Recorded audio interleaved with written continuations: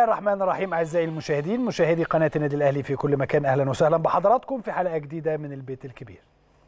في الجزء الأول من هذه الحلقة هيكون معانا النجم الكبير الكابتن عمرو الحلواني. اللي هيكون معانا أنا آسف في الجزء الثاني من هذه الحلقة. أيضا في الجزء الأول هيكون معانا أيمن جilberto وعصام شلتوت أستاذنا الأستاذ عصام شلتوت.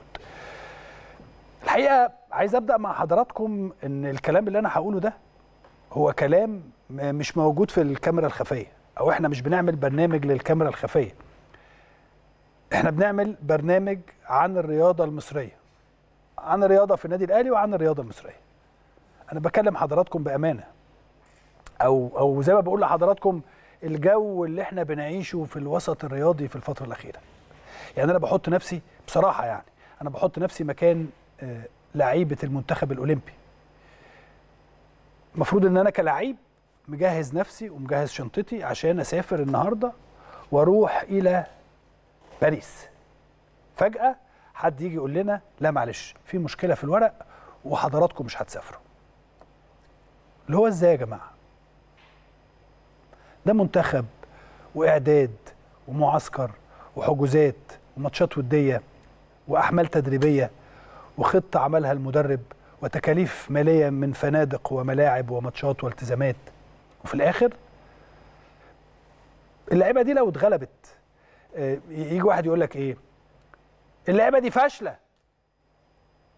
اللي هو إزاي فاشلة يعني؟ اللي هو بعد كل اللي إحنا بنسمعه بغض النظر عن مين هو السبب. اتحاد الكرة نزل بيان قال فيه إن هو ملوش علاقة وإن هو مستني التأشيرات من السفارة الفرنسية أو الاي دي بتاع اللعيبة اللي هو بيعتبر تأشيرة. ولكن يعني إيه بعثة منتخب مصر اللي رايحة الأولمبياد ما جهزتش ورق السفر أو ورق السفر لسه ما جالهاش؟ رغم إن الطيارة محجوزة و... وده بيان رسمي من اتحاد الكورة يعني. ال... اتقال إن البعثة كانت عاملة حسابها إن هي هتسافر بالآي دي بتاع الأولمبياد. حلو ده صح. ولكن لما تكون مسافر الأسبوع اللي جاي آه عمرك ما هتعرف تخش أو يعني الأسبوع أسبوعين ثلاثة بدري عن أولى المباريات الرسمية اللي هو يوم 24 وحضرتك هتسافر يوم 11 أو 12 فاستحالة تدخل فرنسا من غير فيزا. ما ينفعش تخش بالآي دي لأنه في وقت معين بتخش فيه. لأنه في وقت معين أنا آسف لاستقبال الوفود اللي بتشارك في الأولمبياد. على الأقل قبلها بأسبوع. فأنت رايح قبل الأسبوع ده كمان. عشان عندك ماتشات ودية ومعسكر. هل حضراتكم قدمتوا على فيست الشنجن للمنتخب ولا لأ؟ طيب لو قدمتوا قدمتوا إمتى؟ لو لو من بدري وما خدتهاش لغاية دلوقتي تبقى مصيبة. ولكن لو ما قدم النهارده أو اليومين ثلاثة اللي فاتوا تبقى مصيبتين ثلاثة الاستهتار بالرياضة المصرية وصل إلى هذه الدرجة. وصل لمرحلة غير مسبوقة. في حاجة غلط يا جماعة. ويجب أن نعترف والواحد بيتكلم برتم هادي جدا. يجب أن نعترف إن إحنا عندنا مشكلة في مشكلة بتحصل. في حاجات غلط كتيرة جدا وواضحة وضوح الشمس. يجب أن يكون هناك وضع لحد اللي بيحصل. تخيل حضرتك إن أنت يجي عندك خبر الصبح إن منتخب مصر معوش فيز يسافر. لأن الوضع اللي إحنا فيه ده خطر على مستقبل الكورة والرياضة في مصر. آه يعني هو في كده في الدنيا يا جماعة. هو بجد الكلام اللي أنا بسمعه ده بحقيقي. أنا من الصبح لغاية دلوقتي بحاول أفهم الموضوع ده ماشي إزاي. مش مصدق نفسي والله العظيم. أنا والله أنا حاسس إن إحنا في الكاميرا الخفية. أنا حاسس إن اللي بيحصل ده آه آه يا جماعة ده هو اللي إحنا شايفينه من ترهل إداري. ده طبيعي. وبعدين حد يطلع يدافع وحد يطلع يقول وبعدين في الآخر تيجي على اللعيبة تقول لعيبة فاشلة ومنتخب فاشل ومدرب فاشل. على فكرة ميكالي من المدربين الجيدين جدا وده كلام بسمعه من كل اللعيبة اللي كانوا موجودين. واللاعبين اللي موجودين لعيبة جيدة وتستحق. ولكن هو إيه اللي بيحصل ده يا جماعة؟ أنت فين يا بركات في القصة دي؟ أنت فين يا كل الناس اللي موجودة في اتحاد كرة القدم؟ أنتوا فين في القصص دي؟ مستنيين آي دي. اللي المفروض إن أنتوا كلكم عارفين وكلكم أساتذة كبار في الإدارة في اتحاد الكورة كلكم عارفين إنه هناك ميعاد محدد لاستقبال الوفود. ما ينفعش تروح كده قبلها. وهل ينفع إن أنت تكون مقدم على الشنجن ومنتخب مصر؟ منتخب مصر. يبقى ياخد وقت أطول من شهرين أو إذا كان ده اللي ما حدش إداني المعلومة دي صراحة. هل ده كلام يا جماعة؟ هل ده كلام ينفع يتقال؟ هل ده لو الواحد طلع قاله؟ زي ما حضراتكم شايفين هل لو الواحد طلع قال الكلام ده لحد؟ هيقول لي يا عم انت انت شغال يا ابني في برنامج الكاميرا الخفية مش في البيت الكبير. لو حد قاعد بيتفرج عليا دلوقتي هيقول لك يا جماعة أنتوا أنتوا بتهزروا. الكلام ده استحالة يحصل. والله يا جماعة مش أنا اللي بقول اهو البيان أهو. المنتخب الأولمبي ينتظر استلام التأشيرات للسفر إلى معسكر بوردو.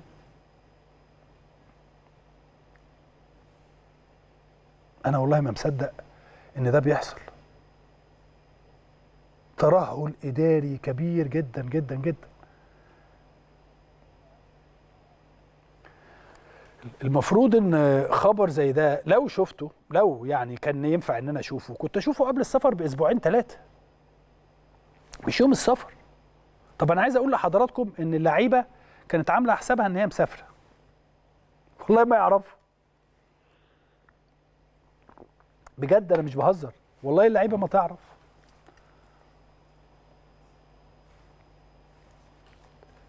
حرام علينا والله حرام علينا ك كمنظومة رياضية اللي بيحصل للمنتخب الأولمبي قبل السفر إلى أولمبياد باريس 24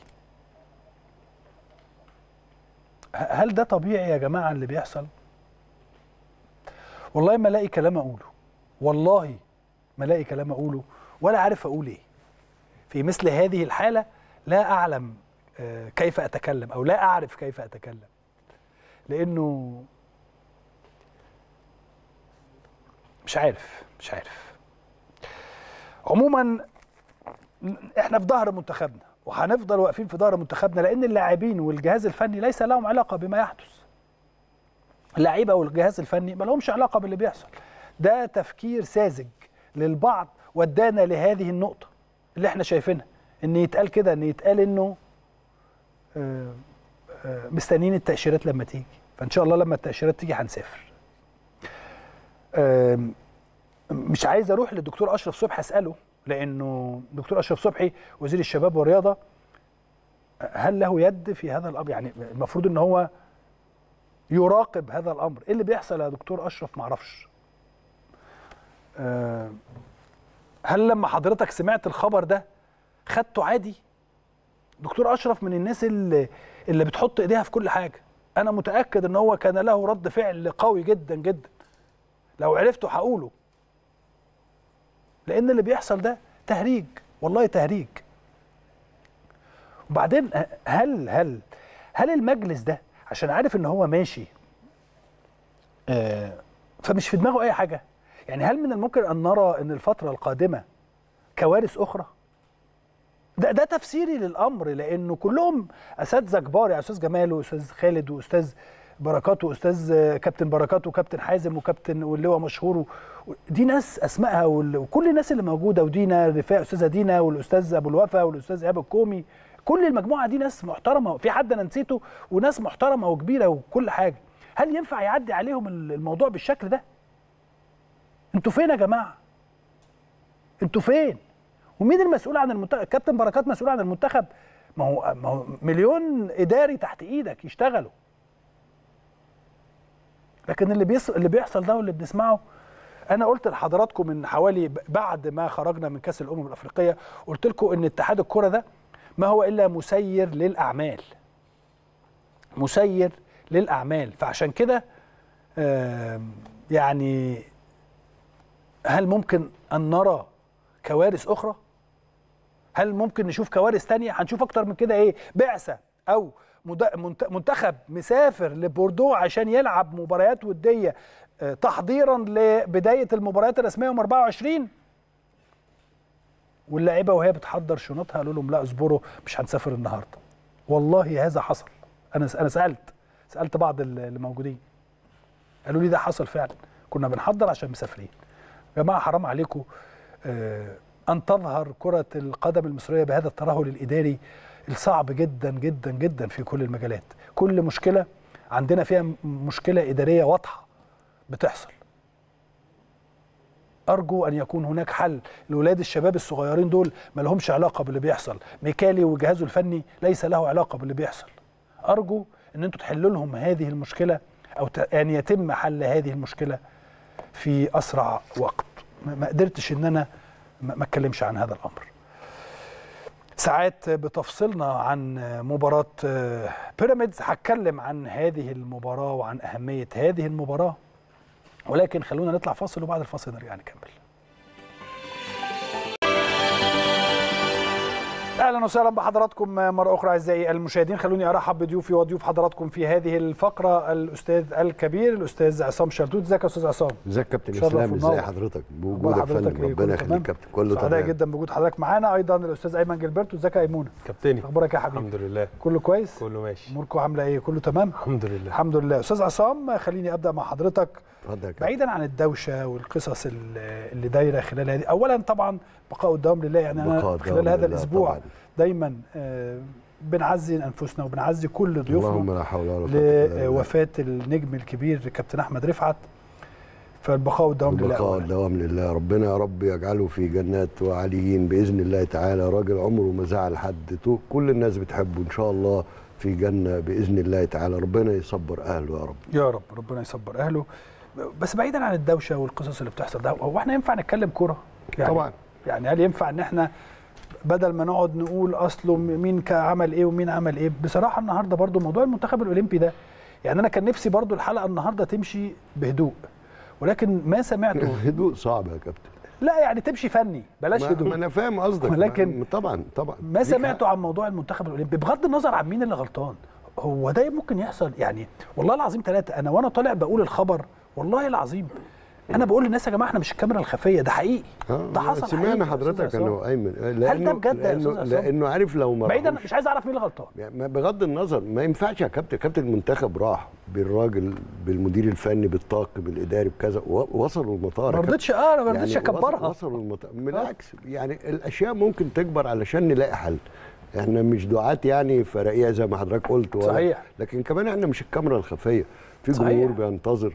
في ناس حلمها مع الجمهورية الثانية مع مصر الجديدة إنه الرياضة بقى يبقى فيها الشغل ده يبقى فيها لمسة. لكن حتى قول قول البيان الذي حدث بالفعل وخلاص يعني لن يحدث شيء يعني. لا أصل هو البيان يا فندم اللي بيتقال هو بيتقال إن ما في لسه ما فيش تأشيرات. مش حاجة اسمها كده. هو هو ينفع منتخب مصر؟ منتخب مصر منتخب مصر ياخد وقت طويل في التأشيرات. يا كابتن التأشيرة. ولا كانوا عاملين حسابهم يا أستاذ عصام على أنا هيخش- لحضرتك أنا أقول لحضرتك معلومات. اتفضل. اتفضل، في آه. سيدني 2000 التأشيرة ما دام بترسل البعثة الأولمبية الكل خد تأشيرة خلاص. انت بس ربما الإعلام هو اللي بيروح بنفسه للمكاتب اللي بقت بديل بديل القنصليات يعني صحيح. عشان الزحام. هو ده اللي بيروح. ومع ذلك آه، عشان يعني تعمل 100% 100% عشان دي طبعا سفارات أجنبية نقولها بالأجنبي. هتاخدها هتاخدها ما فيهاش هزار لأنك رايح في مهمة مع دولتك. وبالتالي في سيدني 2000 كان ال ID card والتأشيرة أنا والزملاء لما رحنا والله يرحمه سامح عبد الفتاح كان معايا أخويا الكبير طبعاً، والكاتب يرحمه. الكبير إيه، اتحولت التأشيرة لل ID card كده أهو. يعني بطريقة أو بأخرى وراحت معمول البلاستيك والآن في فرنسا نفس الكلام لا، فما حدش يقول إنها هتتبعت هنا لا ولكن في عدد محدد من الأيام ما يعني ينفعش تروح بدري يعني فرنسا. انت عشان تروح آه. انت رايح عايز تروح تسافر النهارده فرنسا. آه. كان المفروض تسافر النهارده صح؟ أي وقت هتروح يا كابتن الخلاف هيبقى حوالين. هيدخلوك القرية. أنا ب... مش هتكلم إلا في حاجة أعرفها. الخلاف ميعاد دخولك القرية إمتى؟ ما قبله حضرتك تروح تشوف هل. الاي ديهات دي؟ بتي أول ما توصل هتاخدها. الم... أيوه ما هي ما هو الناس عاملة حسابها إن هي هتوصل قبل الماتش الرسمي بأسبوع مثلا؟ أي وقت هي جاهزة هي لا جاهزه هي مش جاهزة ما هي لو جاهزة كانت بعت لهم النهارده لا ما بتتبعتش يا كابتن إيه؟ وأنا متأكد حضرتك قول لنا. بتاخدها هناك لأنه حضرتك عبر- هتسافر إزاي؟ عبر ضابط بقى. الاتصال عبر ضابط ما أنا جاي لحضرتك آه، أهو. يا جماعة عبر ضابط الاتصال في قرار وزاري ببعثة أولمبية دي أمارة لابسة بدلة واحدة المطار بتاعنا مش هيوقفك هيوقف المطار بتاعنا اللي عنده تصاريح واللي عنده حاجات عشان يخرج منظم علاقته إيه بالتجنيد علاقته إيه بالدراسة علاقته إيه بكذا هذه الأوراق تفحص. لكن الدولة بتقول للجوازات هذا ذاهب مع البعثة الرسمية التي لا رئيس بقرار وزاري. اتفضل اركب انت كل بتروح بقى بتقوله ده كل تمام. المطارات بقى حتى في أفريقيا يا كابتن بيبقى فيها مكتب للبطولة. الحاجة الوحيدة اللي هتبقى فاضلة حضرتك هتروح ال ال القرية الأولمبية إمتى؟ هو ده اللي مش من حقك تقول لهم أجي أسبوع بدري لا لأن يا دي اعاشه. وفلوس لا لا آه دي حاجة تانية بس اللي أنا تمام قصدي أقوله لكن. مش هيوقفك عشان يبعت لك ال ID لا card لا اللي أنا عرفته بقى دي معلومة المعلومة لا, لا طبعا بعيد عن عارف لو card. كانوا بيبعتوها يبقى لا. فرنسا لسه عايشة على لمبة لا. لا بعيد لا طبعا بيتبعت لهم حاجات تانية لكن أنا قصدي أقول لك إيه إنه ما بيتبعت لهمش ال ID card هم قالوا كده ال ID card مستنينه يجي أيوة، أيوه ما هو ده عشان هم عملوا غلطة عشان هم عملوا غلطة, غلطة. ال ID card ده حتى لو بيجي by mail أو اللي هو ارقام معينة أو حاجة معينة عشان ما نبقاش بنقول على حق فرنسا حاجة لكن حتى لو بيجي بيجي في وقت معين ليه؟ لأنه انت ليك هناك اعلنوا ان سيتم استقبال الوفود الرسمية ما ده اللي بقوله لحضرتك أيوه ما هو هيخش إزاي قبل ما قبل هيخش يا؟ كابتن ويسكن على حسابه لأن هو مش مش هيعرف يخش يا أستاذ لا. مش ممنوع يا كابتن والله هي- ده ممنوع هيخش إزاي من غير هيخش بإيه؟ هيخش بالتأشيرات بتاعته لأن ما هو كل معهوش تأشيرة، ما هو ده قال كده. يا كابتن ما الناس اللي. رايحة دي يا جماعة بس ادوني فرصة الناس اللي رايحة دي لما تنزل صالة المطار الناس المسافرين هيروحوا كده وهم هيروحوا كده هم هيروحوا على الاوفيشال هيخشوا إزاي بتاع؟ البطولة أيوه هو ده- تمام، ده ليه. وقت معين. واضح إن ده هنا بقى. بيبقى فيه ضابط اتصال هنا هو بقى ما بلغش يجوز لكن إن هو ما يروحش عشان في وقت معين للوصول مفيش حاجة اسمها كده. كل الفرق من حقها لا توصل. لا ده ده اللي اتقال لي رسمي. رسمي بقى؟ أنا آسف لا لا رسمي. ده أنا كلمت ما حد في حدش قال لي رسمي الحقيقة. قال لي يا كابتن إسلام الوضع واحد اتنين تلاتة وبيروح هناك إن إحنا لينا وقت محدد. طب هم ما يعرفوش إزاي آه، ان هو لينا. وقت محدد؟ قال لي إحنا هي عارفين الكلام ده ما واضح وبعتين إن هي من مشكلة. ما هو بيقول لي إيه؟ بيقول لي إحنا باعتين من بدري للسفارة عشان ناخد الشنجن. من بدري. له ده؟ آه عشان هم رايحين يلعبوا تقريبا ماتشات ودية عشان رايحين يلعبوا ماتشات ودية قبل الفترة. بتاعه مفيش حاجة الاولمبياد اسمها كده إزاي يا أستاذ. عصام لا. أنا رايي حضرتك أنا مشيني من الاستوديو. أنا رأيي والله. لا, لا. مفيش حاجة اسمها كده. لأن. دي سفارات بتحترم مواطني الدول وبتديهم نفس التأشيرة هي هي أيوة، وبيسمح لك. يا عم ادولهم. خلاص اوريدي انت مسجل عندهم. دي البعثة الأولمبية. امال يعني إيه المنتخب الأولمبي أرسل الأسماء؟ فاكرين الكلام ده ده كلام هو ده ده حاجة تانية. ما هو ده ما هي الأسماء دي ليه عشان تدخل مش عشان تلعب؟ طب تفتكر يا أستاذ عصام ليه المنتخب ما قدرش يسافر في الميعاد المحدد في. غلطة بقى في حجز الطيارة في في أمر الطيران معلش بقى أمر الطيران لكن إيه؟ أمر الطيران ما هو لا الطياره لا عشان طلعوا الورق بتاع إن هم دفعوا كل حاجة في الطيارة وكل حاجة مدفوعة آه لكن افرض فما عندهمش الفيزا افرض إن الطياره طب إزاي أنت تروح المطار وأنت ما عندكش فيزا ما أنا بقى. يعني ما, ما لما تبقى حاجة غريبة جدا جدا. بقى يسمحوا لنا إن إحنا بقى نتناولها بكل بمعلوماته بقى يا إما يجيبوا لنا معلومة عندك- قول موحدة المعلومة اللي حضرتك ما. هي. المعلومة اللي عندي كده يا فندم إن إيه انه إن هم هناك شيء ما حدث حلو. في الطيران نفسه في حاجة اسمها أمر الطيران. يعني الطيارة دي مش هتطلع عشان أنا حاجز طيارة خاصة. ما أعلمه يبدو إنه ما حدش أبلغ الشركة اللي متأجرة منها الطيارة على ميعاد بعينه. يعني كان متقال من أسبوع ولا حاجة. تمام؟ حلو. وبالتالي يلا بينا النهارده. هوب الورق ده ما خلصش. الإذن الطيران ده ما خلصش. ده المفروض يخلص بكرة مثلا؟ المفروض. طيب لو ما سافروش بكرة؟ يوم ما سافروش بكرة بقى يبقى في حاجة يبقى في مشكلة في 22 إداري ها مصاحبين للفرقة. لل- للمنتخب الأولمبي آه بس؟ يعني من ضمن بقى بتوع 22 إداري؟ الاتحاد ومش عارف إيه يبقى ده بقى آه. اللي مستني شنجن وأنا على مسؤوليتي يبقى ده موضوع ثالث أنا أنا بجد ما هو صح بص والله عنده والله يعني العظيم ما يعني ما حدش فاهم حاجة. كلام ما حدش فاهم حاجة. يعني أنا الكلام اللي اتقال لي حاجة والكلام اللي بيتقال لك حاجة تانية والكلام اللي بيتقال للأستاذ عصام حاجة ثالثه وكلام غريب جدا. هو على فكرة كلام الأستاذ عصام بيقوله ده كلام منطقي هو منطقي ده اللي. بيحصل آه في طبعا. كل حتة في العالم ولكن في وقت معين يعني اللي هو إيه ال- ال- البطولة هتبدأ مثلا مثلا يوم 20 فأنت ليك لغاية من يوم 14 ليوم 20 آه، مفيش مشكلة قبل 14 لازم تاخد يعني لازم تاخد تأشيرة لو داخل البلد. لا ياخد أو- أو- موافقة. حتى. التاشيرات أو اللي تحجز- على التاشيرات على اللي عنده حسابك، أيوه. يعني-. ويبدي بحجزات الأوتيلات والمصروفات عشان لا يحمل الدولة أيوة. المنظمة أي عبء. لكن ما. فيش شنجن تاني يا جماعة. ال- الباسبور مش هيشيل اتنين شنجن. ده إجراء خطير. ما حدش بيعمل كده ابدا. OK. هو يعني- هو في مشكلة. هو خلاص هو المهم إن في في يعني مشكلة كبيرة في يعني. الآخر أنا شخصيا هي إيه المشكلة برضو يا عيب معلش أنا دلوقتي كلاعب كورة ماليش علاقة باللي أنتوا بتقولوه ده وعمالين عمالين لو أنا قاعد بيتفرج علينا واحد دلوقتي. هيقول لك أنا ماليش علاقة باللي بيحصل. أنا علاقتي الوحيدة إن أنا عندي ماتش يوم 14 آه و17 ودي عشان ألعب أحضر نفسي اليوم آه آه 24 وده نوع من أنواع العبث اللي إحنا عايشينه يا كابتن إسلام. عبث إداري خطير جدا. آه. بتتكلم على اتحاد كره آه، بيحتفل بال 100 سنة يعني بنحتفل بقالنا بنحتفل 100 سنة أو 101 سنة. كورة. 100 سنة، عدت طبعا. واتحاد يعني وبنتكلم في أمور إن الناس فجأة تطلع تقول لك أنتوا بتنتقدوا وانتوا بتهاجموا بت... بتسمع تصريحات غريبة سيارات الإسعاف لا الناس تبعت سيارات نقل الموتى موتى طبعا. فده اللي هو إيه يا كابتن إسلام؟ بجمله بجملة اللي إحنا عايشينه. يحدث. فده بالمرة. فالنهاردة طب هتيجي تحاسب مين؟ هتقعد برضو نفضل إيه؟ نشكل لجنة واللجنة تشكل لجنة هفكر ندور حضرتك حاجة. مش هنلاقي مش هنلاقي حد يتحمل المسؤولية هنلاقي إيه زي ما كان أستاذ عصام كده بيقول إيه إن مثلا لو اللجنة الأولمبية محددة إن المنتخب الأولمبي فيه 18 لعيب وفيه آه، آه، 15 فرد من الجهاز الفني آه، ممكن نلاقي إن مثلا البعثة لو هي من المفترض تطلع 30 شخص على نفقة اللجنة الأولمبية الدولية أو ال- الأولمبيكس يعني في- يعني. باريس هتلاقي إن أنت ممكن عندك 50 60 واحد في البعثة مثلا فدول صحيح. ال- ال- المص- المصروفات أو الإجراءات اللي بتبقى زيادة ممكن أنت تكون مثلا ما خدتش فيهم آه، الإجراءات آه، إجراءات معينة. أو زي ما الأستاذ عصام كده بيقول. آه أمر تاني إن أنت ما بلغتش مثلا إن أنت المفروض هتسافر في الوقت ده فالشركة الخاصة بالطيران مثلا ما كانتش مجهزة. حصلت مع فرق آه، قبل كده يا جماعة مصرية الطيارة. في الرحلات هو الخاصة. من الواضح إن لا أنا اتقال لي أصله حاجة ما ما بعرفش. ما هو يعني مصدر بص، اخر يعني غير اللي حضرتك خدت. منه. آه لا لا.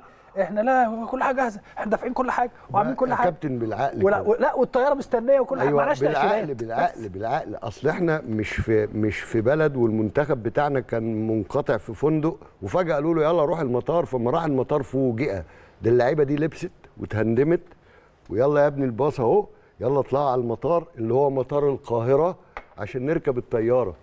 إزاي في إجراء غلط؟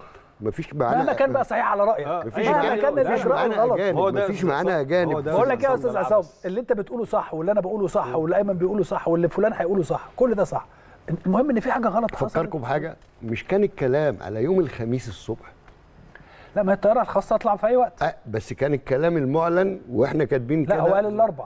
قالوا الخميس صباحا بعد المران يا إما صباحا يا إما مساء.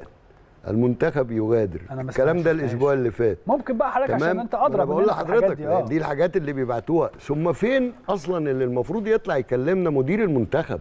أنا آسف يعني. طب ما تحاولوا تجيبوا لنا كابتن تجيبوا لنا آه، حرب ده.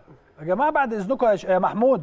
لو سمحت كده حاول تجيب لنا كابتن حرب نفهم منه آه، آه، يفهم أين الخطأ يعني. وبلا- مش عايزين نعرف أين الخطأ ولكن خالص مش, مش نطمن مهم نطمن الناس نطمن الناس بس المنتخب هيمشي إمتى على خلاص سيحدث خلال خير إن المرحلة شاء الله القادمة. بسيطة يعني ما بجد والله ما فيش حاجة. بس قولوا لنا. إن ما في يعني خلاص خلصت الشغلانة إنما في الآخر واذا تتحدث بعدين اللعيبة لا قدر الله لو اتغلبنا ولا حصل. هيقول لك يا عم دي لعيبة فاشلة. ده أيوة. لعيبة مش عارف إيه ومعاهم مدرب دافعين فيه فلوس رامينها في الأرض. مع إن الراجل مدرب كويس على اللي طبعا. عنده C. V. وعنده CV جيد وعنده لا شغل. ونتائجه حتى في البطولة اللي هي الخاصة بالتأهل نتائج جيدة نتائج جدا. جيدة جدا طبعا. والمنتخب يعني العناصر اللي فيه مميزة.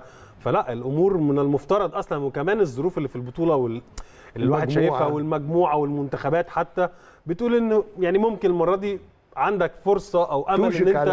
آه إن أنت تنافس حتى أو توصل لفكرة المربع الذهبي عكس الفترات السابقة ف يعني نتمنى إن القصة العبث الإداري اللي بتعيشه الكرة المصرية ده يخلص لأن في الآخر كلنا متضررين. إحنا كلنا عايزين نتفرج على ماتش كورة ونتبسط. بالظبط.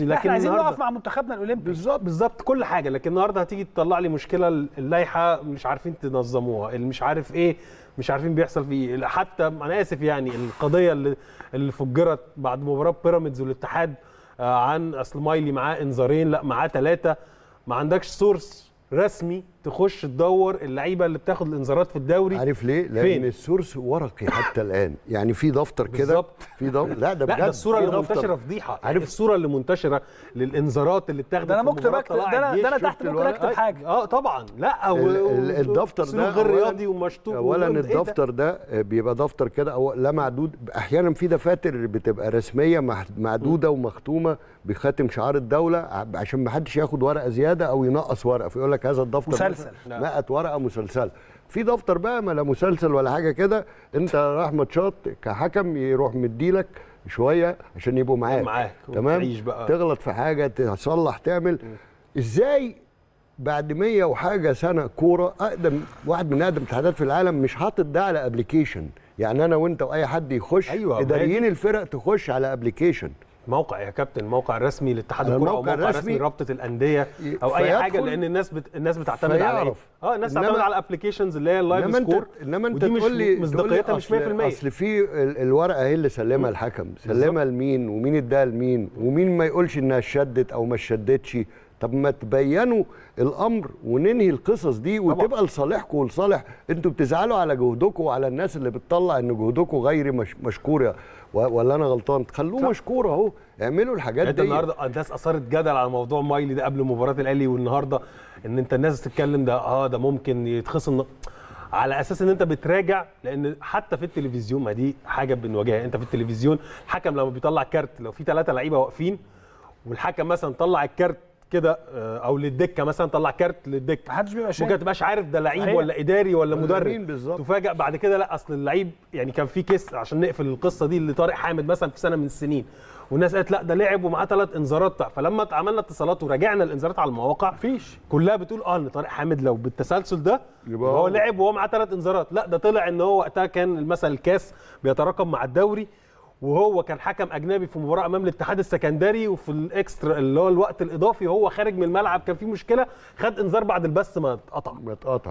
بتقطع فده أيوه. اتسجل وقتها ده الإنذار الثالث وهو توقف الماتش اللي بعديه بعد كده بنعد من الأول. فهي الحاجات دي كلها لو النهارده اتحط على system وعلى مخزون الموقع إلكتروني أنت النهارده. تقدر تخش عليه تراجع كل الحاجات دي. حيلة. الموضوع سهل لكن إحنا في عبث. فالنهارده حضرتك لما تيجي تقول إن المنتخب الأولمبي ما سافرش عشان خطأ إداري فخلاص ده بجملت يعني. قول لي يا كابتن قول لي يا كابتن مدير مدير الفريق إزاي ما يردش على تليفونات؟ ليه؟ ليه؟ ليه؟ أنا والله عمال أبعت له أهو. أنا بسأل ماسك حضرتك. التليفون ليه؟ حتى عمال ليه؟ أبعت له. ليه؟ هو هو ده. غلط. أو عيب. يعني طمن الجمهور. ده أنت في قناة ما هياش فاتحه أبوابها علشان آه، على راي حضرتك تناقش وتؤزم الأمور. أنت بس عايز تقول للناس أنا بس عايز أريح الناس لأن أنا لما حد دلوقتي والله أنا حد باعت لي دلوقتي بيقول لي يا كابتن طب يعني هنعمل إيه؟ وهيسافر؟ حد يعني أهو. طب نشوف في قناة تانية ولا نعمل إيه؟ ما إحنا عايزين حد. صحيح يعني يقول لنا آه، إيه اللي بيحصل؟ إحنا معلوماتنا أنا معلوماتي آه، زي أستاذ المهم يعني إن في طب خطأ هل- في ده. هل- طب الناس هتسافر أنا مش عايز أعرف مين اللي غلطان. عايز أعرف؟ الناس هتسافر آه، إمتى ادي حاجة. هل هل اتحط على ال- الموقع الرسمي الكلام ده؟ حضرتك جبت من مصدر وأنا من مصدر صحيح. وربما غيرنا من مصدر. طب ما تكتبوا كتوبة وتحطوها على الموقع. ما اتحط على الموقع الكلام اللي أنت ما أكيد وصل لحضرتك. ما هو الكلام اللي اتحط ده يا كابتن ما. ينفعش والله. هو ما ينفعش الكلام والله بس ما ينفع. هو ده اللي موجود مش هو ده اللي موجود يا سمير؟ وريه لنا كده لو سمحت. البيان بتاع اتحاد كرة القدم بعد إذنك نشوفه لأنه الحقيقة بيان غريب جدا وبيان ما مش عايز يتقري يا كابتن يعني عشان حتى نشوف اللغة موديانا فين. انهت بعثة المنتخب الأولمبي إجراءاتها الخاصة باستخراج تأشيرات السفر إلى مدينة بوردو بفرنسا وذلك لأداء مباراتين وديتين مع أوكرانيا يوم 14 يوليو ثم العراق يوم 17 استعدادا للمشاركه في منافسات أولمبياد باريس 2024 ومن المنتظر است... هي ده اللي أنا بقول لك عليه بقى يا أستاذ عصام إن التأشيرات أهي. ومن المنتظر استلام التأشيرات بالتنسيق مع اللجنة الأولمبية ده الكلام اللي حضرتك بتقوله طبقا لإجراءات السفارة الفرنسية. واللجنة المنظمة لدورة الألعاب الأولمبية خلال الساعات القادمة. ومن ومن ثم التحرك إلى مدينة بوردو الفرنسية ثم تسافر أو تسافر البعثة بالطيارة الخاصة التي تم حجزها وسداد تكاليفها بعد استلام التأشيرات. هذا ويواصل المنتخب الاولمبي تدريباته كذا كذا كذا الكلام ده لو كانت اللعيبة ما لبستش بدل وراحت مطار القاهرة الكلام ده يتقال وإحنا كلنا منتظرين بيان إمتى يسافر المنتخب الأولمبي واللعيبة أهلها راحوا بعتوا لها مثلا فاكهة بتاع يعني المعسكر زي ما هو. لكن انت بتقول لي بيان زي ده واللعيبة راحت المطار ورجعت. إزاي يعني؟ ثم ثم من الآخر اهو وأنا مش محامي السفارة الفرنسية لا شأن للسفارة الفرنسية. ادي اماره اولا القسم القنصلي هو بتاع التأشيرات. ثانيا وده أهم من اولا البطولات الدولية. والأولمبيك جيمز وكأس العالم في القلب منهم.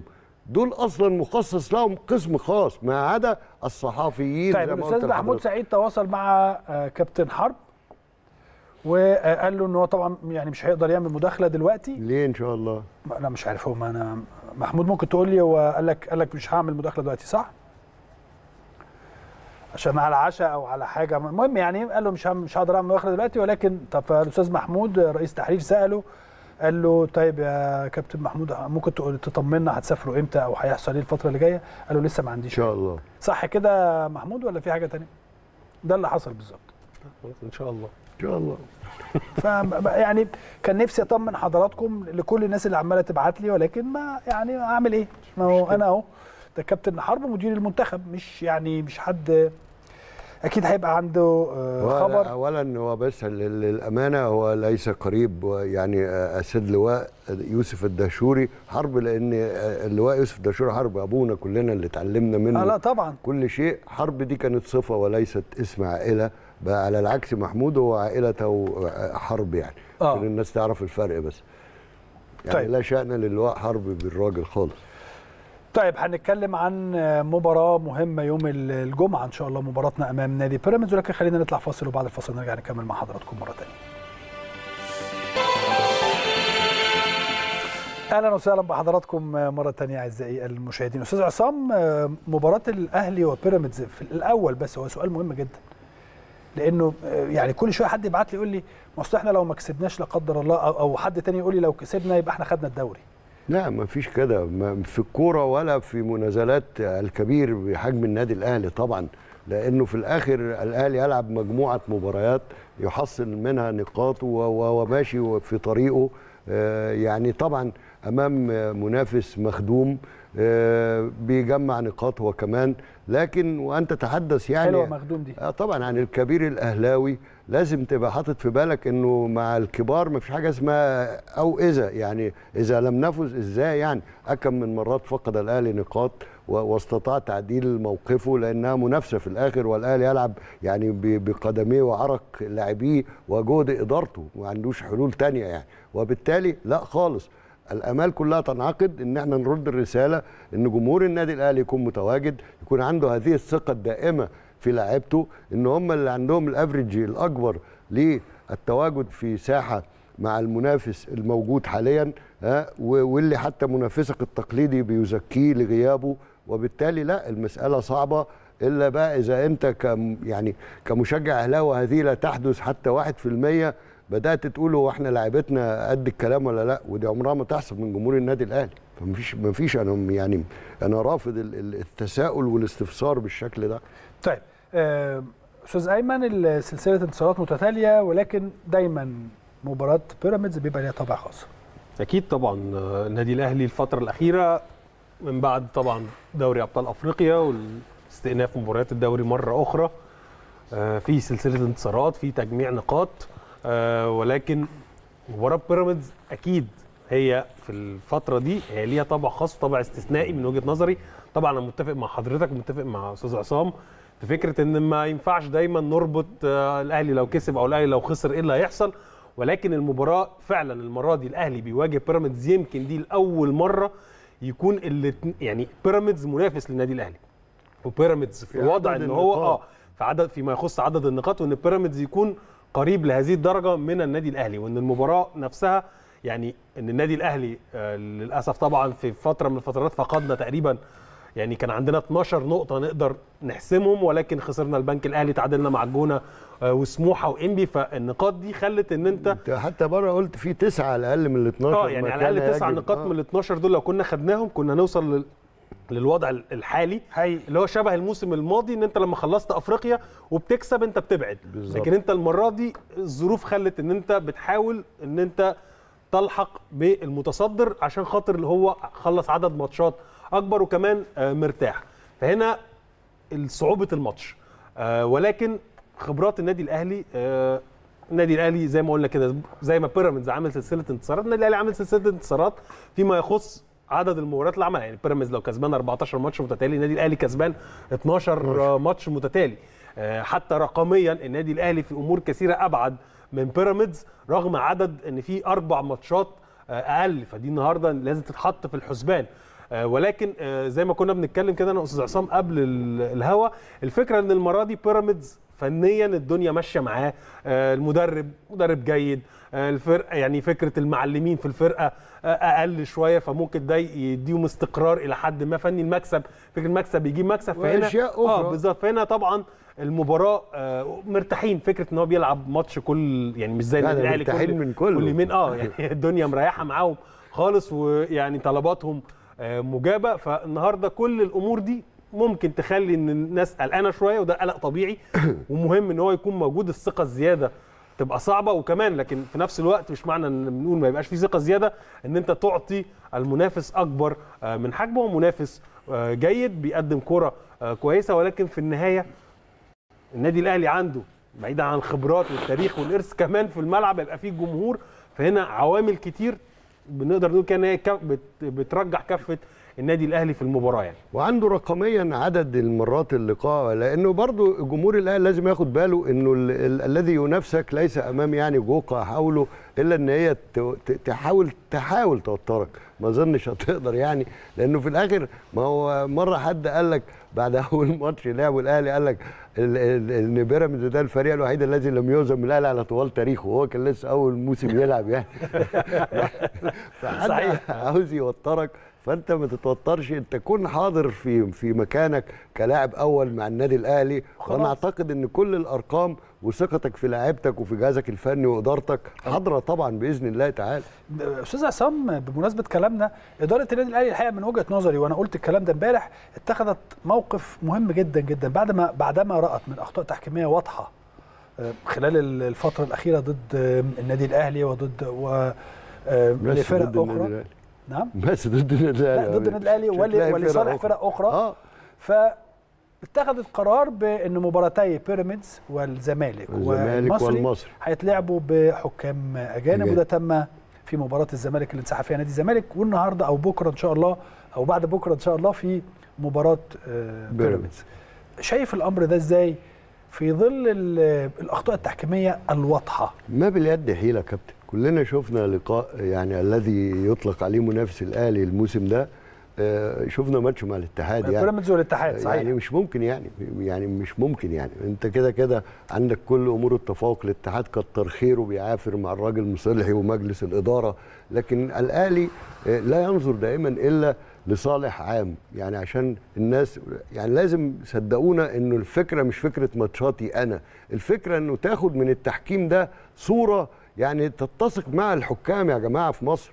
والحمد لله إن اللي جه ده راجل آه، لاعب الديربي مدريد مرتين اللي هو الحكم اللي جاي أو قائد ال- ال- المجموعة اللي جاية دي. لاعب ديربي أنا دورت عليه قبل ما أجي يعني. لاعب ديربي مدريد مرتين أتلتيكو وريال مدريد.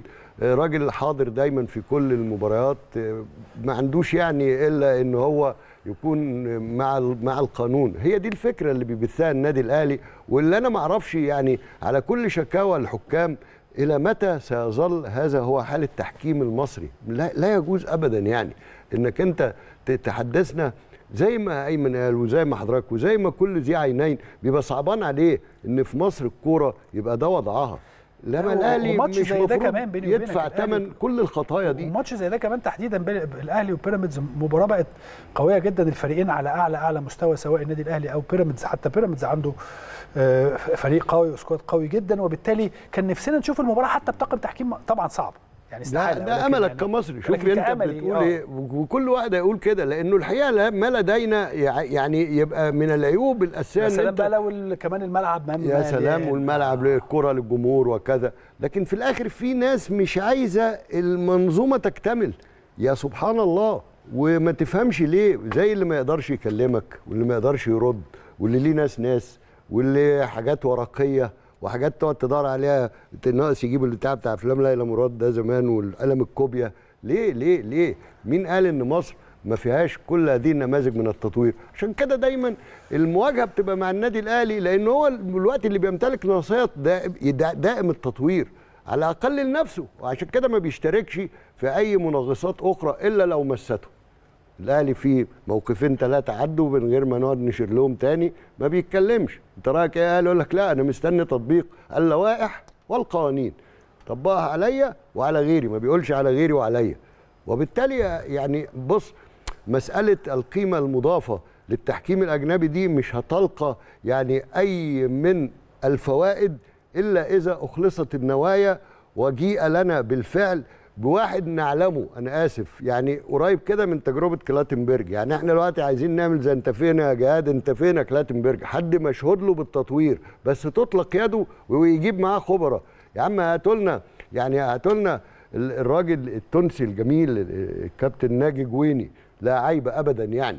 لكن يا كابتن إحنا سمعنا عن حكم في ظل وجود لجنة جاب الكابتن عصام الفتاح وده كلام بقى أنا حضرته معاهم بالتليفون عمل لهم محاضرة على الغدا.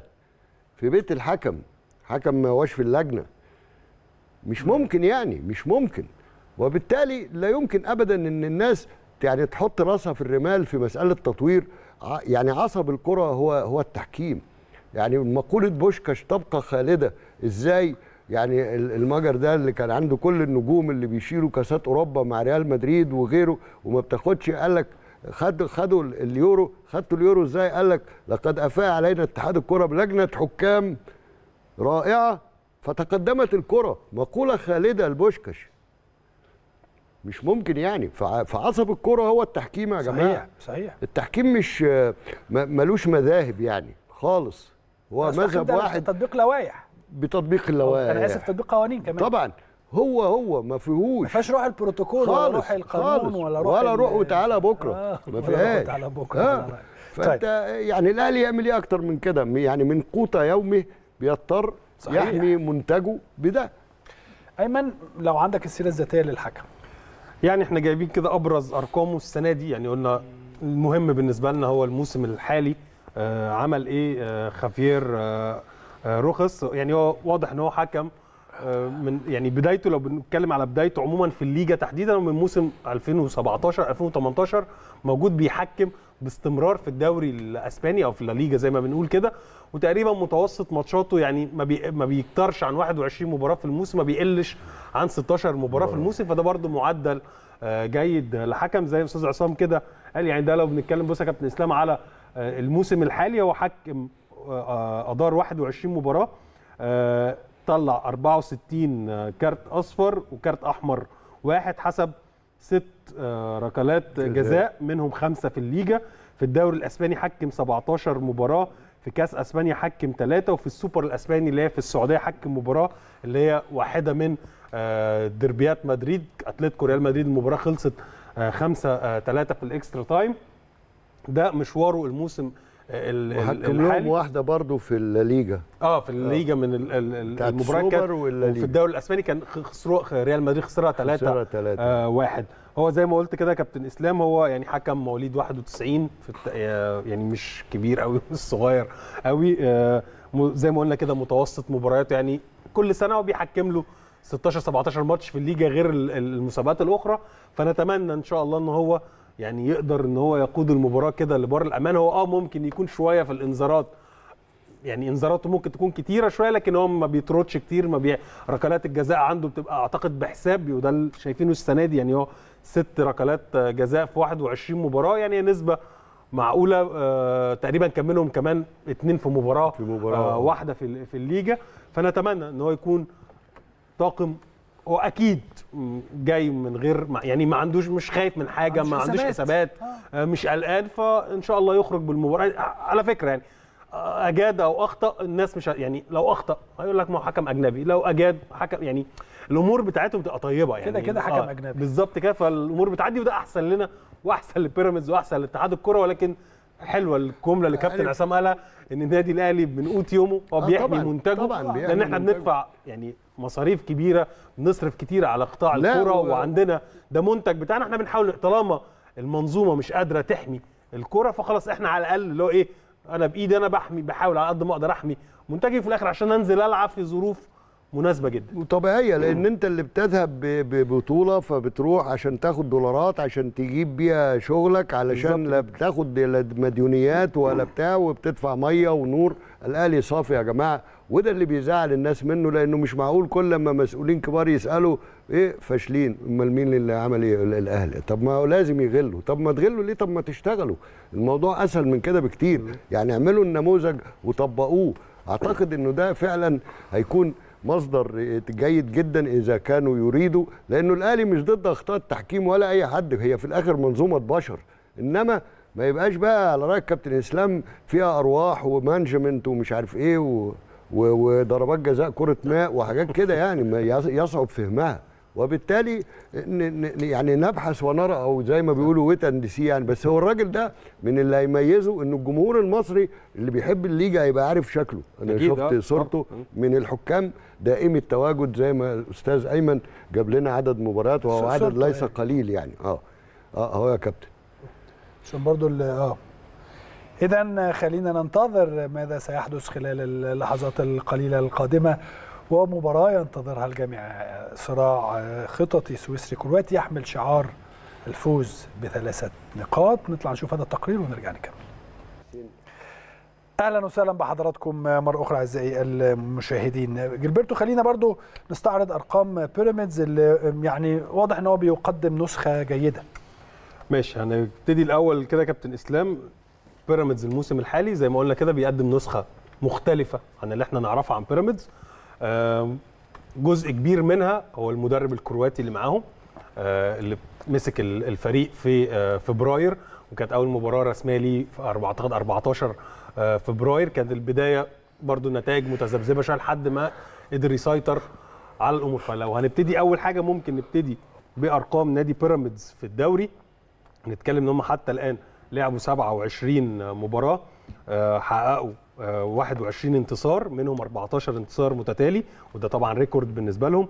اتعادلوا في خمس مباريات وخسروا آه، في آه، مباراة سجلوا 49 هدف وبالمناسبة 49 هدف دول في ترتيب الأقوى هجوم في الدوري رقم اثنين بعد النادي الأهلي آه، اللي معاه 54 هدف بأربع مباريات آه، أقل. أقل. الأهداف المتوقعة بتاعتهم 87 آه، هدف يعني من هم جابوا 49 جون من 87 هدف متوقع وده برده نسبة كبيرة إن هم ده معناه إنه بيروحوا على الجون كتير بيخلقوا فرص كتير محققة للتهديف ولكن نسبة استغلالهم بالنسبة للرقم ده أقل شوية يعني النادي الأهلي لما جبناه مع حضرتك الحلقة اللي فاتت لو تفتكر كانت النسبة السنة دي أعلى من. المتوقعة صحيح. بيسجل آه، بشكل أكبر آه، طبعا آه، استقبلوا 17 هدف من 34 هدف متوقع وبالمناسبة هم طبعا أقوى دفاع اللي بعديهم النادي الأهلي 20 ولكن برضو في فرق أربع مباريات ما نقدرش دايما نغفل. لصالح النادي الأهلي كلين شيت 16 مباراة نسبة محاولاتهم على المرمى 410 محاولة منهم 149 محاولة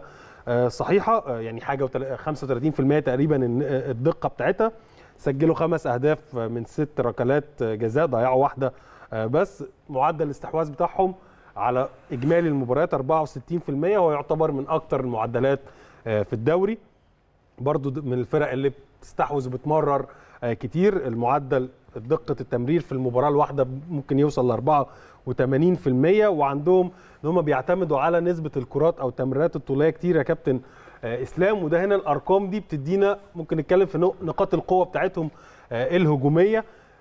نخش على طول على مايلي اللي هو هداف الدوري وواحد من المهاجمين المميزين جدا اللي عندهم. وخطورته إن هو بيسجل بطرق مختلفة وبطرق متنوعة ودايما متواجد داخل منطقة الجزاء. فبرضه لو استعرضنا أرقامه كمان بالمناسبة هو من أكتر اللاعبين مساهمة آه، أهداف في الدوري. 18 مسجل 13 وصانع خمسة. فنقدر نستعرض برضه أرقامه للناس نبين إن نقاط القوة بتاعت بيراميدز قبل ما نخش على آه، نقاط الضعف. يعني النهارده لو بنتكلم على مايلي لعب 21 مباراة كأساسي وخمسة كبديل آه، 2031 دقيقة مشاركة. سجل 13 هدف من 20 هدف متوقع ودي برضو نسبة, نسبة كويسة. جيدة جدا. نسبة هايلة. آه طبعا عامل 29 محاولة ناجحة على المرمى من 61 صنع خمس أهداف. فالنهاردة مش بس الراجل بيسجل لأ ده كمان بيصنع. عمل بنتكلم التمريرات المفتاحية أو الكي باس لزمايله 12 تمريرة وصنع 17 فرصة. وهو بالمناسبة زي ما قلنا كده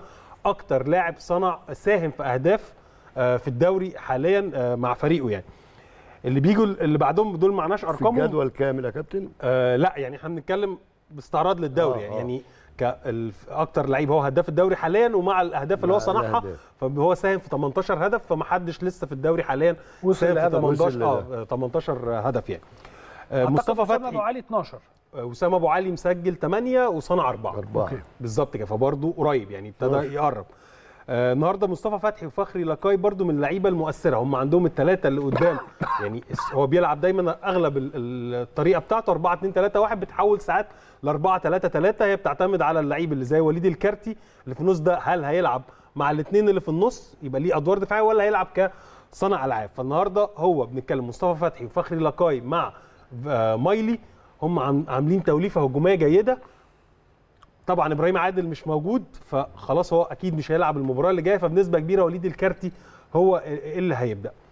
ممكن نخش على أرقام المدرب يا كابتن إسلام عشان بعد كده نخش نقول للناس نقاط الضعف عشان برضو نبقى الناس عشان الناس زي ما أستاذ عصام كده قال وحضرتك قلت الفكرة مش هو بينافسوا النادي الأهلي لكن مفيش رعب ما ينفعش يتصدر طبعاً ما- الرعب لا، ليك لا، أو لا، الخوف لا، ولكن في نفس الوقت بتاخد حذرك. من بتاعت فريق- ريتشارد يقولون ان ياكل خروفا على العشاء. وبتاع مش فريق- الدرجات دي يعني. بالظبط فريق جيد جدا هجوميا وبيلعب كرة جماعية مميزة. والنهاردة المدرب آه، آه، يوريزيتش عامل معاهم شغل كويس. يعني واضح جدا شغله في الملعب. وهو مدرب برضه ليه تجربة عربية قبل كده مع النصر الإماراتي. وحقق ألقاب قليلة. فهو برضه بيحاول إن هو إيه يظهر بالشكل آه، الأمثل في تجربته مع بيراميدز. لعب معاهم 21 مباراة كابتن إسلام آه، كسب آه، 16 تعادل في أربعة وخسر في واحدة. دي كانت أمام مازيمبي في بطولة أفريقيا مسجل معاهم 39 هدف واستقبل 13 هدف 13. منهم تلات منهم خمسة في أفريقيا. يعني 13 دول منهم خمسة, خمسة في أفريقيا. اللي هو 3 0 مازيمبي واثنين الفريق اللي هو آه، الموريتاني. فهو الراجل إلى حد ما آه، عامل شكل هجومي جيد ودفاعيا مش مش مش سيء. ولكن بيراميدز دفاعيا إيه المشاكل اللي بتظهر عنده؟ برضو إن هو بنقول المكسب بيجيب مكسب معاه ولكن برضو هو ما لعبش الزمالك مثلا في الدور الثاني لسه ما لعبش النادي الأهلي المباراتين لكن هو بيقدر إن هو ممكن يبقى دخل فيه أهداف يحاول بيعوض بقوته الهجومية. هنستعرض كده الصور هنلاقي إن أبرز حاجة ظهرت في الأهداف اللي دخلت في بيراميدز في الدوري مع الراجل ده فكرة الكور العرضية أو إن أنت تلعب خلف الباكات أو المدافعين. فالنهاردة مثلا دي مباراة فيوتشر. هم كسبوها 2-1 النهارده الهدف ده ده كان corner وراح آه، لاعب فيوتشر لعبها كرة عرضية. بص عدد تمركزات لعيبة بيراميدز في الكرات العرضية هتلاقي فيه اثنين متسابين لوحدهم. وحتى اللي طلع لعبها بدماغه هو كان فيه معاه man لكن ما مسكوش بشكل كويس. الكرة دي برضه هتلاقيها اتكررت هنا في ماتش البنك الأهلي. دي ده آه، ركلة ركنية اتعملت آه، pass خلفي أهو والراجل لعب الأوفر. الراجل طلع حط الكرة بدماغه. بشكل آه، سهل جدا. في نفس المباراة بتاعت البنك الأهلي هنا بنتكلم على تمركزاتهم في الارتدادات في المرتدات. فالنهاردة البنك الأهلي قدر بتمريرتين إن هو يعمل هجمة. مرتدة ويروح بالكرة دي اللي زي ما شفنا كده والراجل عمل ال pass لكريم آه، بامبو أعتقد وسجل من هدف. فهنا النهارده دي برده نقطة ضعف موجودة في فريق بيراميدز. هنا دي مباراة سيراميكا مباراة مختلفة تماما. دي برده كرة عرضية. بص يا كابتن إسلام في كام واحد من سيراميكا في ال 18 مقابل كام لعيب من بيراميدز؟ هم كتير ولكن كتير ولكن تمركزاتهم تمركزاتهم غلط. غلط.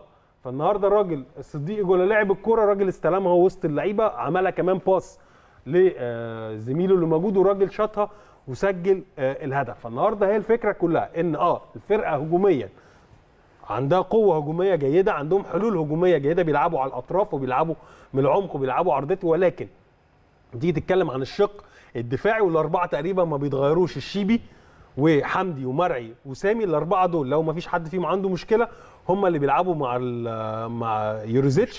المباريات تقصد. بالظبط كده ما فيش أي مشكلة إدارية أو مشكلة إيقاف أو إنذارات أو إنذارات إصابة أو كده دول اللي ذلك بيلعبوا. على طول. فهم دايما عندهم المشكلة دي واضحة. فالنهاردة أنت لعيبه الأهلي إزاي تقدر تستخدم حاجة زي كده؟ تقدر تستغلها وتجيب منها أه- آه، أهداف.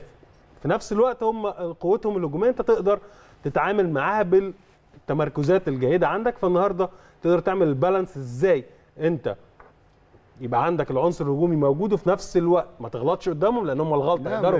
يستفيدوها. ولكن في نفس الوقت انت لازم تلعب على أخطائهم. وأخطائهم دي بتبقى واضحة. يعني مباراة حتى سموحة وهم كسبانين 3-1 الراجل بيتزحلق وهو بيضغط على آه، لاعب سموحة والكرة كانت تروح لحسام حسن بيمررها وبيسجلوا أهداف. فالنهاردة الفرقة عندها نقاط ضعف واضحة جدا تقدر إن أنت تلعب عليها وتستغلها وتعدي المباراة بالنتيجة اللي أنت محتاجها عشان خاطر المباريات اللي جاية. أهم أهم يعني حاجة أن يلعب بنجوم الأهلي وأكيد طبعا ده بيبقى على خلفية ما تلقوه من مديرهم الفني والطاقم بشخصية الأهلي.